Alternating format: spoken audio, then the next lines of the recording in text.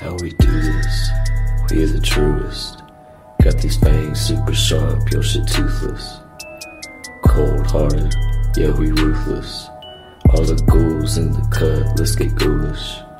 In the graveyard, acting foolish. Finna dance with the devil to no music. Cold hearted, yeah, we ruthless. All the ghouls in the cut, let's get ghoulish.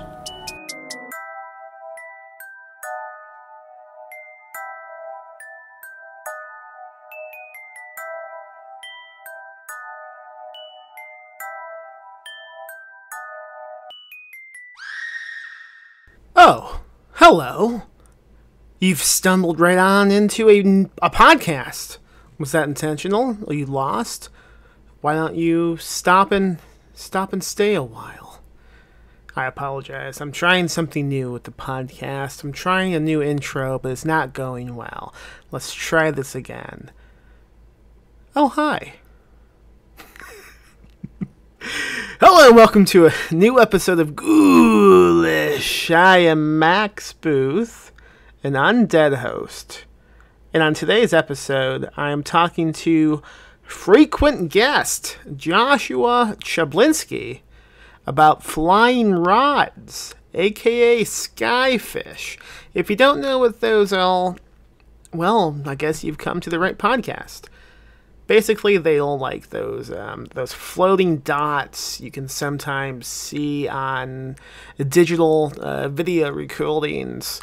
We get into a deeper description in the episode, and we're talking about flying rods because Joshua Chaplinsky has a brand new short story in my brand new anthology, Lost Contact.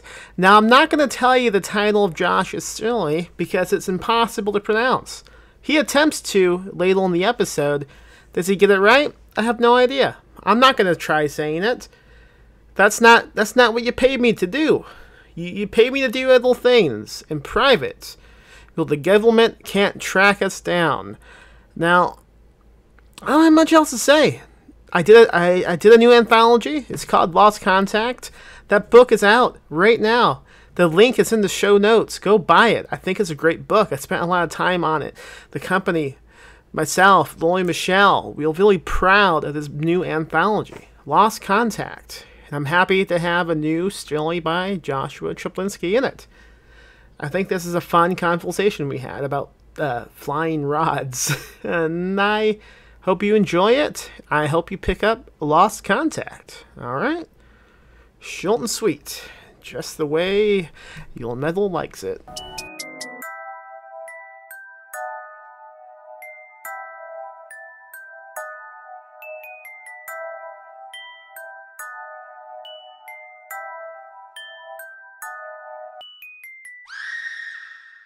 You know, you and I met recently, and um, I'm just curious. Like you've known me for a long time online, and now you Mhm. met me. Has your has your uh, impression of me uh, changed at all since meeting me in real life? Hmm, not really. I mean, you were you were pretty true to form in in real life. Pretty much what I expected. Yeah, You know, that's good. What what did you Just- expect? just just ex- except for the the piles of a cocaine you wanted to do. That was really scary. I didn't like that. You and I and other people talking, and suddenly someone comes up and goes, "Hey, we're gonna go get some cocaine." Who wants coke? And you said, "Well, it's time for me to leave." Yeah, I mean, what is this? The eighties? Wham wham No. wham. No, it wasn't. It's It not the 80s. It was 2021, man. and it was that's not a good in, joke. It was just in June. Yeah, it's amazing that there are still people out there prowling the streets for coke, and how easy it is to find someone who has it. I wouldn't know how to get cocaine. Do, would you know how to? I mean, not I didn't, but now apparently you just walk down an alley and ask. Yeah, not many alleys in Texas, sadly. Well, you know what? That's true. That's a misconception about New York City that there are all these alleys in New York City. There's literally maybe one or two oh, actual yeah? a- alleys in New York City and uh, and no dead ends as far as I know. Like not like a dead end alley like where Batman's parents would have gotten murdered. Yeah, Like they're just everything's a grid, everything's a through street. I guess And who do we have to blame for that? Like superhero movies, like fucking Spider Man and stuff. He's always gue- going in guess so. alleys. Yeah, yeah. He's always yeah, and that's supposed to rep right. He lives in New York City, right? Yeah, Batman Bat- lives in I don't know. Gotham City, which is Oh, I mean, yeah. it's it's like a dirtier, darker New York City. Yeah, that's in what Utah. Mm, yeah, that sounds about right. I think it's a Utah? Mormon town. I wish. A lot of Mormons in Gotham. So we're talking about how do you want to? What do you want to call these things? Flying rods, skyfish, uh, cloud uh, giblets. What? Cloud giblets. Uh, well, can the can you pronounce the word that's in the title of my story? Nope. Why don't you tell the audience what the story is called? That's in Lost Okay. Contact. Okay, I think that's a good place to start, and with the kind of the pronunciation and maybe some uh, etymology of the the word. The story is is called the Proto-Pterygote tapes. So that's Proto-Pterygote, which is spelled very oddly. And you know what? I w- oh here it is. It is in front of me. I was gonna say I can't spell it if it's not in front of me. It's P R O T O, like proto, the word proto, which means original or primitive. Uh, so it's proto and then pterygote, which is the weird part. It's P T E R Y G O T E. So the tricky part is that P. But if you think of it, it's it's like pterodactyl, which is kind of a related word. So proto-pterygote, um, basically what it is is it's a um, well, there's the word proto, which means original or primitive, and there's pterygote, which is like pterygota, which is a subclass of insects that includes winged insects and secondarily wingless insects, which just is just a fancy way of saying insects whose ancestors had wings, and now these insects no longer do. So basically, winged insects and wingless insects, which is basically it's almost all insects. Did you make up this build? No, Oh, it's an actual uh, class of insect which comprises almost all of insectum. So we got proto pterygote, which basically means proto insect or like original insect or the like the- original insect. or yeah, like the the uh the forefather. What's the word I'm looking for? George Washington. An- ancestors of Mm. insects, the evolutionary ancestors of insects.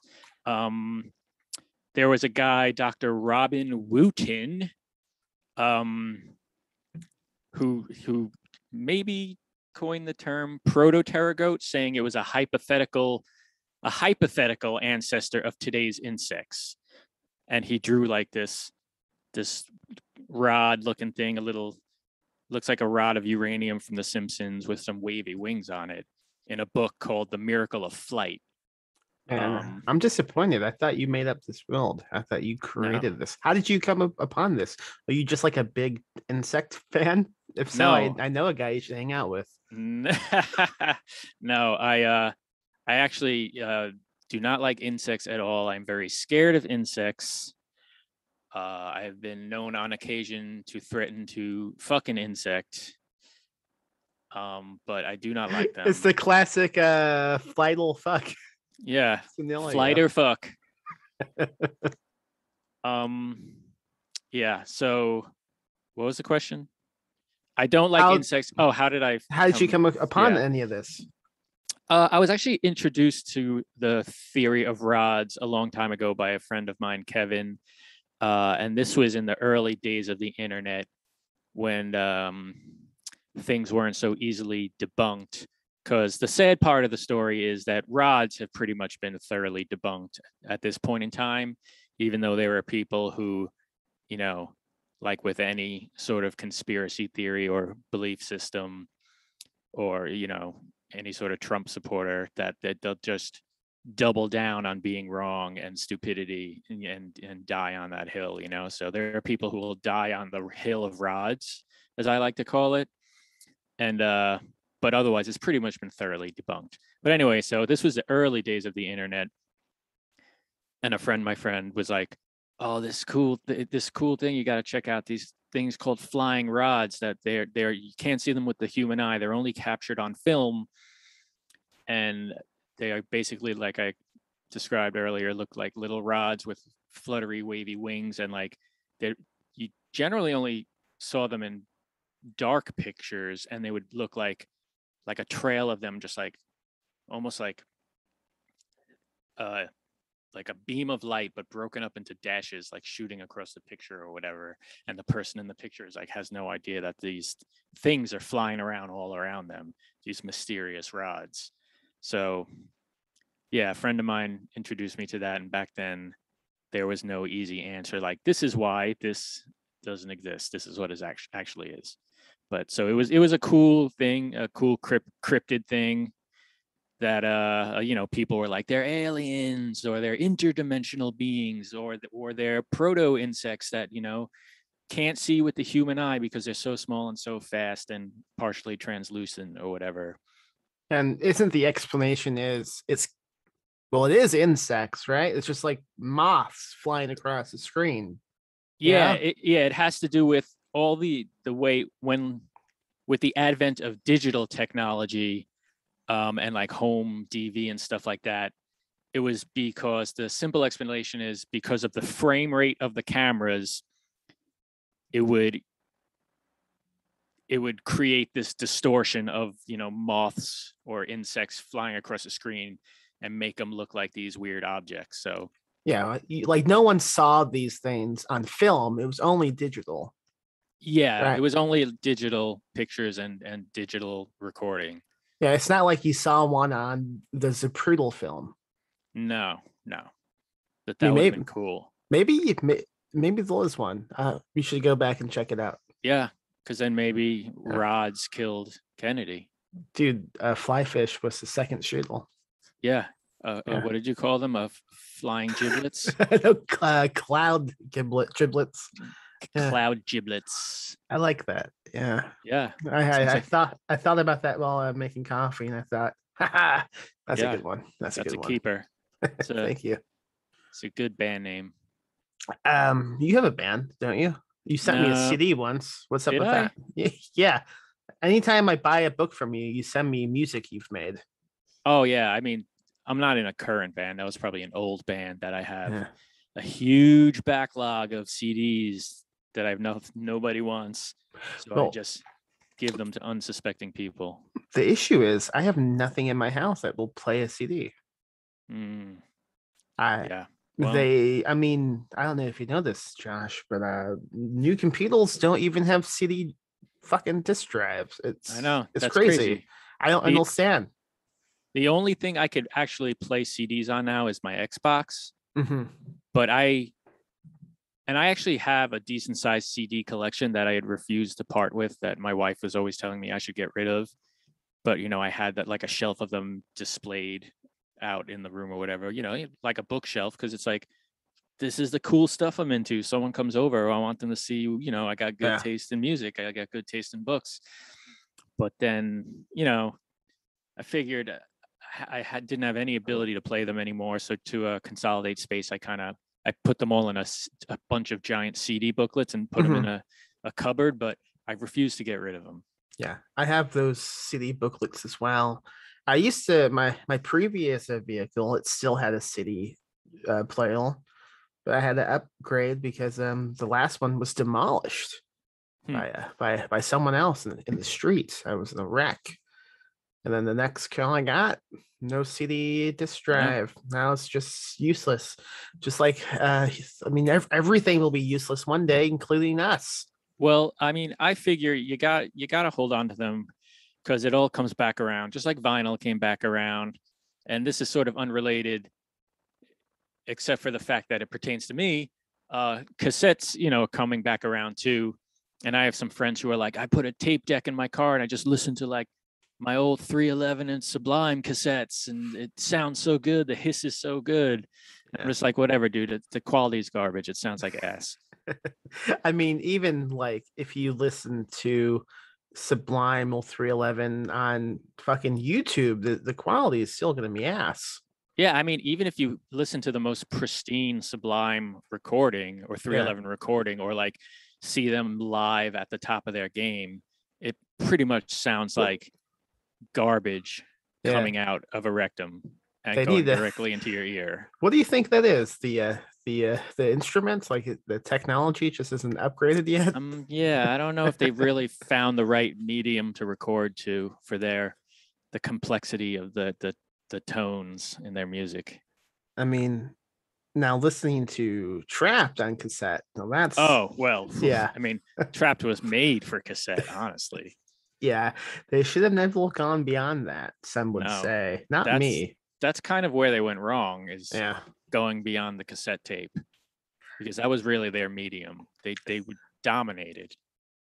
So some people think these flying rods are aliens. What is the uh the logic with that? Like do they think these aliens will just like uh not visible to the human eye and will just like hanging around people with cameras dancing like ooh look at me? Like Mm, what are I they mean, doing? What's the motive? I wouldn't think logic really comes into it. You know, anything these kind of some of these conspiracy groups, anything that they can't explain, you know, they'll ultimately attribute to aliens. Uh, it's interesting because the guy who um, quote unquote discovered rods, this guy, uh, his name was Jose Escamilla. His name's Rodney. His name's Rodney Rodstein, the discoverer of rods, aka he would call them Roswell rods, because and herein lies the alien connection is this guy Jose lived in Roswell, New Mexico. So when he d- discovered rods, he went to make a website, but found that the website rod.com or rods.com was taken, which is no surprise and uh, so he made roswellrods.com so that was part of the association but also i found out this guy jose i can't really read much i ha- didn't really find much about like wh- what he really does like like what he is or how he he you know maintains his livelihood or anything like that but he's basically a professional rod guy at this point or at one point he was a, he was like the rod guy yeah. and Is- uh Is he still alive? At this point i don't know Okay, go on. but he had before he quote unquote discovered rods in 1994 he had multiple in alien encounters according to him throughout his life uh and one one the one which i find most interesting is in way back in 1966 and on this website here uh, called Roswell Rods. We review the facts and the myths. These are what we have. What seem like, um, uh, what are they called? Fuck, I'm going blank on words about the mean things. A journal. It's like these seem like journal entries written by this guy, right? Um, and I just want to read this one because it's funny about this this early alien encounter he had. So this is Jose writing this. I believe so. Okay, go ahead. It's on another website and it says written by Frank L. Harewood, but then it it seems like this is from Jose's journal. So he like stole it from the other website or something. But it's funny because it says this is the most pertinent information. It starts out by now I had joined a rock and roll band called the Jesters. I we love were, it. we were very popular and touring all over the place. We had just performed in Loving, New Mexico, where I was born, at the prom for the class of 1966. And then it goes on to how they were in their van and they saw some sort of flying saucer. But Okay. I just think I think that tells you everything you need to know right there about this guy and his credibility. A guy who was pl- playing proms in a rock band called the Jesters and was obsessed with UFOs and had multiple UFO encounters. He so seems it's- pretty cool. So this is a guy you're placing your faith in when it comes to rods. Yeah. I I don't know. I looked up rod.com. It's um it's available for um it? almost five hundred thousand dollars. What about rods with an S? Rods r- go I did. It goes to like a cowboy clothing shop. Really? Yeah, it's like What- it's like Rod's uh, Westfilm clothes.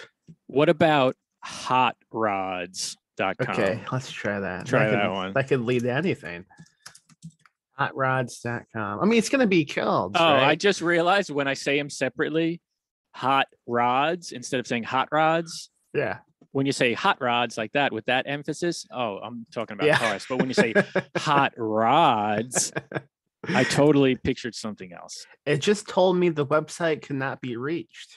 Interesting. What about hard rods or rock hard rods? Well, let's try one and go to the next after that to see what happens. So, okay, it's, it gives me a a message saying I can't reach it. So let's try. What was it? Rock held rods. Okay. rock hard rods. See, this is all part of the conspiracy theory that they don't want us to know about the existence of rock hard rods. Dude. Rock held rods is somehow available on GoDaddy. That's, That's, pretty insane. amazing. Buy it right now. Uh, get this domain. No, it wants me to pay a hundred bucks. I don't A want to do that. hundred. That's That's insane. fucking crazy. Uh, GoDaddy domain broker. That's not a real job. No, that sounds fake. How do you how do you get one of those jobs? College.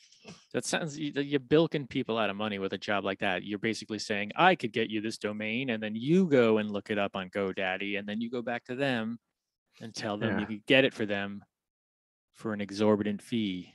Yeah, it's like the travel agents. Mm.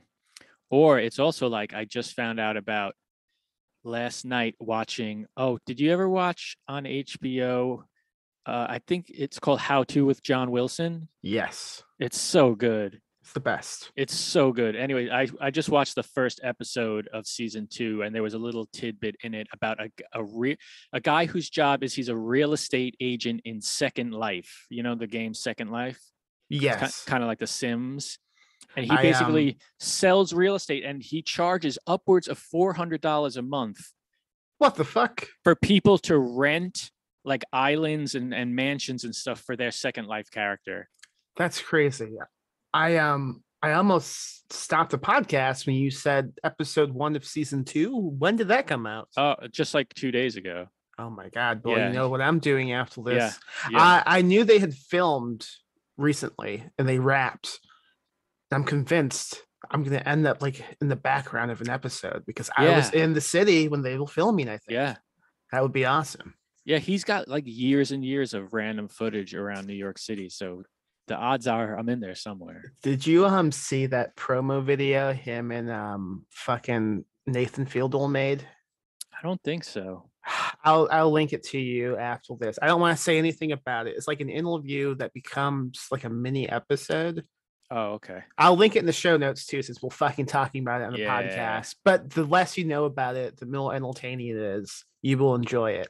Yeah. Anyway, flying rods. Uh, what else do we have to say about this? Why don't you tell the folks about the story in Lost Contact? What is that about, and how did that kind of generate? Okay. Well, it's it's a story. It's called the Proto the Proto Pterygote tapes, and it is about flying rods. Uh, it's uh more than that though. It's about a young woman who was very close with her father, who is sort of this Jose.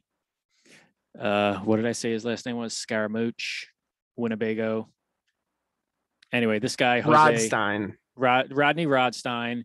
Her father was kind of a Rodney Rodstein type, and uh, when they were younger, they were into rods and and uh, researching rods and going on camping trips and filming rods. And then one day, her father mysteriously disappears, and all she's left with are his tapes. And then uh, she starts. Uh, years go by, and she starts noticing these weird weird information in some of these tapes and thinks she's getting these weird messages from her father via these tapes and so she kind of like sets out to find him that's basically the gist of it It's also written in a nice um format, like a it's almost like a found footage story, the way it's presented. yeah it's got it's got a couple different types of sections some of them are journal entries and then some of them are kind of what takes place on the tapes and then Yeah. some of them are kind of like from more from the characters pov and what they're going through Hmm. Do you, uh, do you believe in aliens? I don't. You know, no. Okay. it's interesting you ask. Uh, when before the internet existed, Mhm. when I, when I was in high school, I worked at uh, B Dalton bookstores, and I was like around the time when like the X Files first came out. I, I loved the X Files. I was super into the X Files, and I was so I was all about aliens and alien conspiracy. And that was back before the internet, when like being into a conspiracy was cool and it was fun and it was interesting because you know like you weren't first of all you weren't a psycho who modeled your whole lifestyle after it but also like you had to actually like read books and do some research and it you didn't you didn't go online and just see millions of people who were like aliens are real i believe this crazy nonsense and anyone who doesn't believe it must die you know Yeah, I think like- cons- I think conspiracy is a little fun when no one else is talking about it, and it's just like Yeah. you kind of like getting a little bit paranoid in your house or something. yeah because like i didn't really take it as fact but i was like oh this is cool what if aliens were real or like yeah, you know, the JFK conspiracy was always cool. Like, oh man,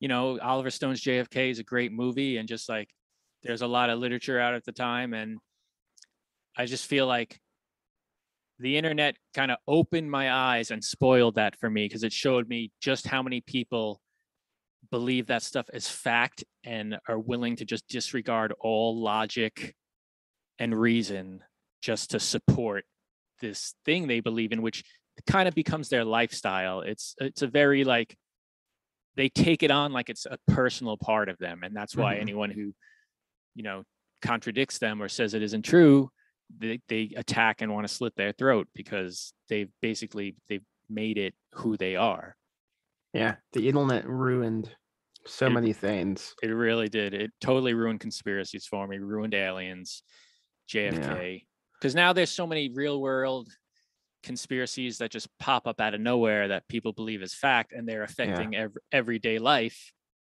you know around the world and then that's not so fun With um with JFK, it's crazy. Have you been to Dallas?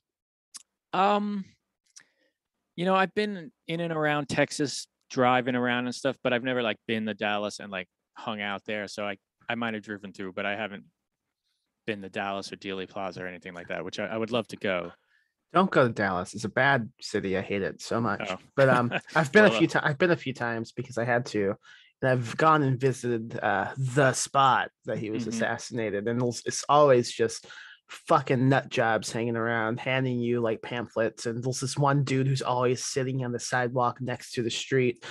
Uh, he has like a desk he brings and he sits down he just waits to tell everybody the truth about like what happened so i mean that conspiracy it's really that one's never going to go away. I don't think. yeah that's insane and also like isn't the actual spot it's like in the middle of the street and there's people constantly like standing there and lying down and taking pictures and stuff and blocking traffic and whatnot I've I, that's what I've read, but the few times I've visited, I haven't seen anyone jump into the street because it's a really busy street. Like it goes Yeah. onto the, it's like a fucking express ramp onto the highway almost.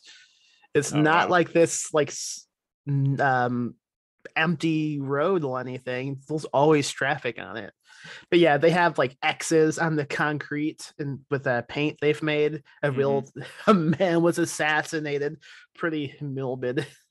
yeah and that's not like an official like board of tourism thing that's just some crazy person came up and was like painted a giant x I don't know about that. Maybe. I, th- I think so i don't think it's like a- anything sanctioned or official it would be crazy if it was official. Like, well, let's paint an X where that man died. I mean you would think they could at least put up a sign to commemorate or something Yeah. you know you know well you know how you like you drive down the highway and you see you know bouquets of flower and crosses and stuff on the side of the road where someone obviously crashed and died you know you think Yeah. someone would be leaving bouquets for jfk No one, no one, no one gives a shit, man. they don't care about the man they care Yeah. about the conspiracy Yeah. I mean, just go watch JFK. That's about as much as my interest Hmm, yeah. expands. Just that movie. You a fan of that movie? yeah it's Yeah. a great movie It's but again like i don't you know obviously it's not a movie to be taken at fact No. it's just but it's just this amazing amalgamation of all these different conspiracies and you know, just as a story about conspiracy and paranoia. Like it's just a great movie. Yeah, it's just it's a good movie in the genre of paranoid uh, movies, like The Parallax View. I mean, that's Mhm. not. I mean, it's fiction. Yeah. JFK never existed. It's Yeah. all fiction. People think they remember JFK, but it's actually the Mandela effect. Yeah, And it, his his name was Rodney. RFK. Everyone's heard of RFK because he was real. He existed. He was assassinated. by a fucking skyfish. Yeah. But his Yeah. name wasn't Jason FK. It was Rodney FK. Yeah, Rodney. Rodney Rodenstein FK.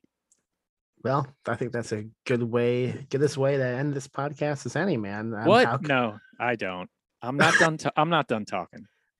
Okay, I'll- I will mute my end. Please. I, wait, I had one other thing I wanted to say actually about this whole rigmarole. Oh yes, one of the the one anecdote I wanted to relay on this podcast was not what my story was about, but the story of how the story came to be and how it came to be in Lost Contact.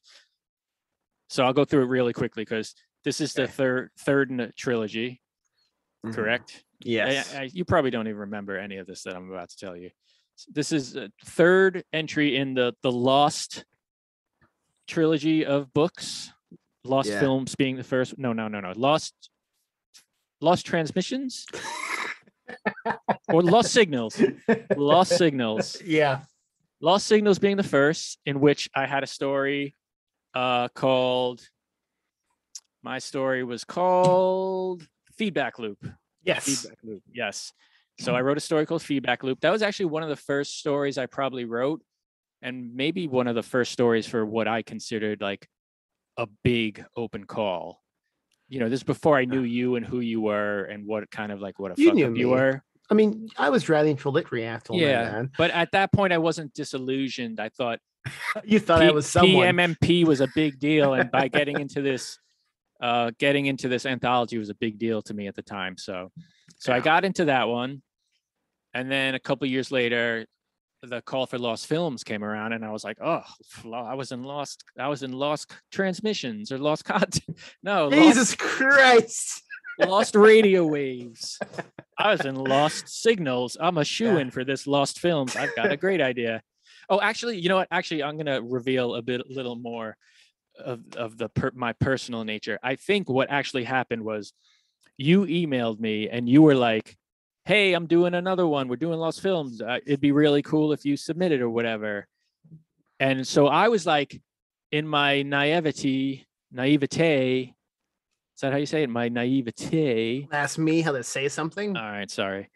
My my being naiveness at the time, I thought that was like an an invite. Like, hey, you want to be in this anthology? And I said yes. And then you're like, all right. And so I thought that kind of meant I was a shoo-in at that point. yeah. I see, I didn't fully understand how the business worked. the thing is, most people still assume that. You will see uh, some um, semi-famous small press Re- Reynolds uh, whining on Twitter constantly about, "Oh, I was invited and then I was rejected." That's unjust. That's unprofessional. Yeah, but I mean, I quickly realized, oh, Yeah. in, in this situation, I was invited to submit. I wasn't just saying, hey, give us a story. We'll publish any garbage you write, you know? Yeah. And so then I think too, I was like, all right, well, let me think about it if I can come up with an idea or whatever. And then I was brainstorming in the shower, nude as I do. Mhm. And I, um, I, I started brainstorming this thing about rods and the prototype, you know, the rods and stuff and Rod, Rodney Rodkins. And so I think I had like emailed you back. I was like, oh, I got this great idea, blah, blah, blah, about flying rods. And you were like, cool, write it. So that just in my head just kind of reinforced, oh, this is a done deal, you know? Yeah. I'm so sorry. Yeah. No, that's fine. It was, I mean, it was a hard lesson, you know, it, it, it took me a really long time to get over it. And Yeah. I struggled with my confidence for a really long Yeah. time after that, but it was a, a lesson I, I had to learn, and every writer writer needs to learn. So if I could kind of help them learn it this way without having to experience the pain and the agony, Yeah. you know, it's for the best. But anyway, I, I feel like I realized this even before I got the rejection. I was just like, hmm, wait a minute. I was like, I think I'm kind of assuming here. Like, I don't think this meant what I thought it meant, especially as like time was really got going on. Yeah. So, so whatever. So anyway, so turns out story didn't make it in, and uh, I was devastated and and wanted to kill you for a while, but I got over it. okay. And then so, uh, and turn the page again. A another couple years, I think it was. You announce, "Hey, we're completing the trilogy." Uh, Yeah. The lost, uh, Giblets. lost, uh, missed connections, Yeah, lost contact. That's it. that's this one lost contact. You're like we're completing the trilogy. And then uh, you might even sent me an email hey we're completing the trilogy. Hope you submit. And i was like no way fuck that. I was like i'm not falling for that trap again. But then i came up with a brilliant idea. I was like i realized that when i wrote the Protopterygote tapes it had tapes of stuff in it. But other than that like it wasn't as good for the the theme of lost films as a lot of the eventual stories were you know i think there were Yeah. a lot you you've you know found stuff that was more pertaining to film and had to strictly do with film but when i saw the theme for lost contact i was like oh you know this this girl whose father goes missing and she's being contacted by him and searching for him this fits this better than the last one Yeah. so so I I e- emailed you up and I was like, Max, I was like, you remember this story that you rejected for Lost Films? And you were like, nope. And I was like, good, because I'm gonna resubmit it for Lost Contact because I think it's a much better fit and I don't want to write another story. And you were like, all right, that's cool. And you said yes, and I submitted it. And honestly, I assumed it, it probably wouldn't get in just for the fact that it was kind of a trunk story. But lo and Yeah. behold, I think something happened in the period between Lost Films and Lost Contact. Maybe, you know, maybe I wrote I wrote a novel that sold upwards of maybe a hundred copies and you know, you know, Yeah. gave my name a bit of cachet. So I think that helped securing me a spot It did. Lost Contact. I um I don't know why I rejected it originally because reading mean- again for Lost Contact is really good. And it does fit the theme. Oh, thank th- you. But thinking about it, like I did think about it similar because I thought, why the fuck did we, we reject this? And I do remember now. It was it. You mentioned it took a long time for us to give you a decision on that one, and that was because it Mhm. was like one of the final ones. I mean, we don't send acceptances until we have the lineup like how we want it, and then we have to reject like the final ones that didn't make the cut, and that was one of them. It just didn't make the cut, and I think at the time. I thought, well, it doesn't fit the theme enough. But Mhm. I think I might disagree with that now. I think it's it would have Mm. been fine in lots films, but we have it in lost contact. So oh yeah, well. it, it all worked out in the end. Only one Pilson has been in all three of the anthologies. Yeah, it's uh, what's his name? It, Oh, his? Paul Paul Michael. Nah, it's Betty Rocksteady. Oh, Betty. What's the? He wrote Lost Signals. I always confuse his name because there's a couple writers who have the three names, and they're like either have Paul or they're like PR. Yeah, And Paul I- Thomas Anderson is. Uh, well, yeah, he's this. he's he's not in this. Okay, um, Paul, Paul- Michael Anderson is in one of them, I believe, okay. and Michael Paul Gonzalez. that he- yeah, see, Paul Michael and Michael Paul yeah, fucks me up every time. yeah, me, me too. I've published uh, books by both of those guys. Uh, I, I did uh Paul Michael's uh Paul Michael Anderson's standalone, hmm and then Michael Paul Gonzalez's uh Beneath the Salton Sea that just came out. Yeah, you know what? When you asked me to blur Beneath the Salton Sea, I was like, "Oh, cool! A book, another book by the guy who wrote Standalone." but I was mistaken. I also have Michael David Wilson I've published a few times. It's pretty Yeah. fucking confusing. And David Yeah. James Keaton.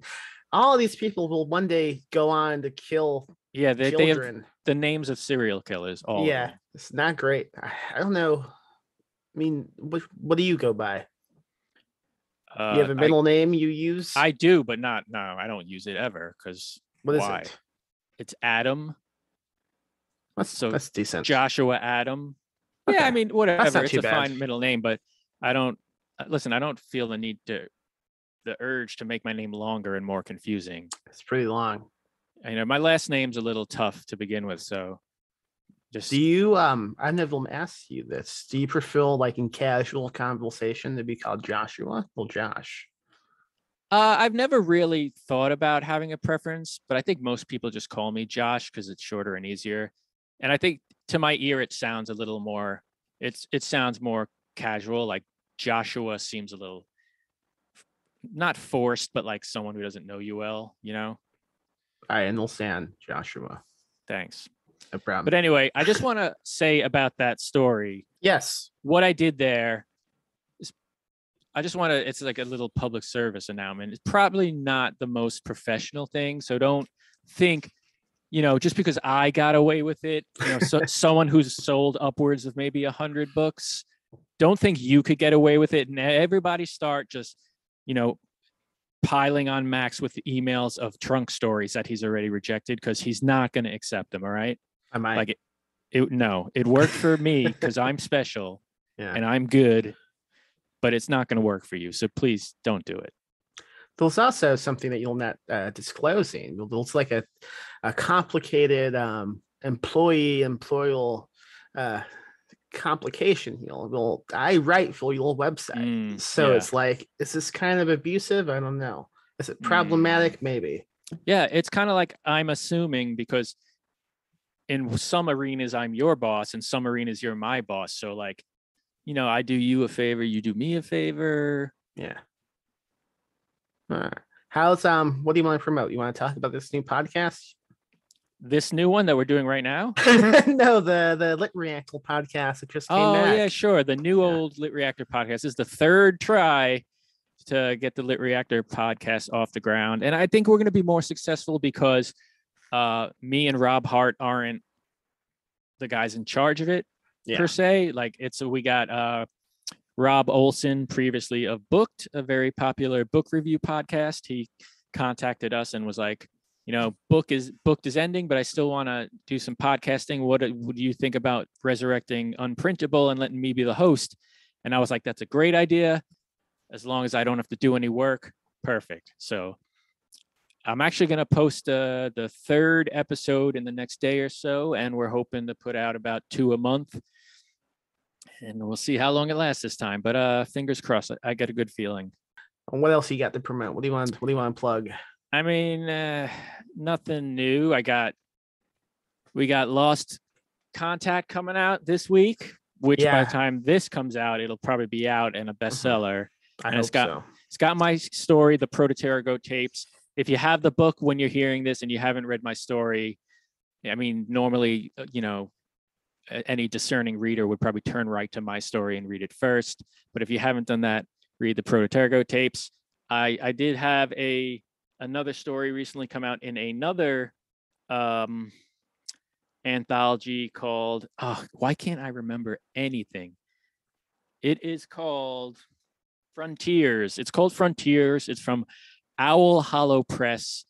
It's uh the theme is frontiers, whether that be Western frontiers or the space is frontier or the human mind is frontier, any sort of frontiers. Yeah. And my story is a kind of like it's what I would call a weird Western, and it's called Big City Queers. Please don't be offended. That's the title. It's a it's a heartwarming story, and it's a weird Western. So the Frontiers anthology, Big City Queers, is my story. And Cool. uh, I've also recently had two stories go up to read for free. One on Expat Press, which is popular with the kids these days, all young hip writers. So I'm proud to have fooled them and snuck in. It's a story called Stacking Plates. And then also on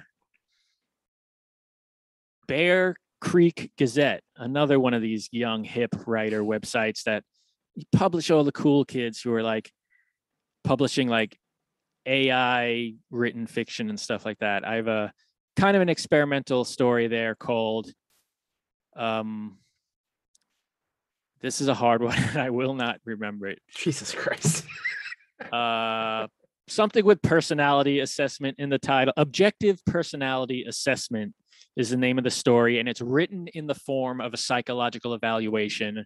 It's got a lot of weird textual stuff with like different fonts and then sentences going in different directions and That's cool. two two sentences merging to form one sentence and they mean different things when you start from different places. It was a huge pain in the ass to format. So I hope you go read it and enjoy it. I'm then at- interested. Is that how do they format that? Is it like saved as a photo? Because like it, you, it's saved as a JPEG. I Yeah. formatted it. I actually wrote it in Excel, which with every page, yeah, it was a huge pain in the ass. And I like started over a bunch of different times and experimented with different things. But ultimately, I wrote it in Excel with each page of the story being its own tab in the Excel document. So it wound up being a huge Excel document with like 25 tabs. And uh, then I transferred that to PDF so it would like lock the formatting. And I gave it to them and I was like, I don't know how you're going to display this, but it can't change from this. And they they figured it out. So you might be the only one who's written fiction in Excel. That is insane. yeah, it, it's insanely stupid Oh my because god. because it was a huge pain in the ass. Send me a link to that and I'll show it in the uh, the show notes. That's crazy. Sweet. I also want to read it, and I don't know what the magazine was called anymore. Bear Creek- Cloud Bear Creek Monthly? is it Rod Rod Square. I'm not gonna remember this anyway. Okay. Um, and then That's as it? you and as always, a Paradox Twins is out there if you want to be the 100 and something reader. You seem to have a grudge. Not a grudge, just a kind of I'm embracing reality. Yeah, You know, sucks. It's sad and depressing. Eh, you know what? I, I look at it more as one reader at a time, one reader at, at, a time. Yeah, and books, you know, I mean, they don't fucking just go away. They continue and they yeah, get new lives. exactly. Like I think fucking um, negative space is gonna keep getting like that's a Oh, book yeah.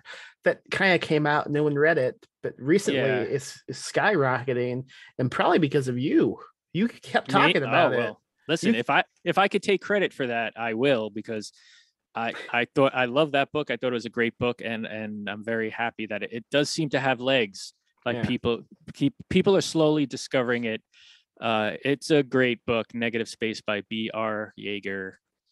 Great book. Yes, And so is the Paradox Twins by Joshua Adam Triplinski. yes, Joshua Adam Chaplinsky, Rodenstein, and uh, yeah, my novel, The Paradox Twins.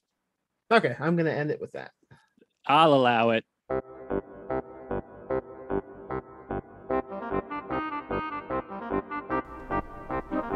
And that was Joshua Chaplinsky talking about flying rods, skyfish, cloud giblets.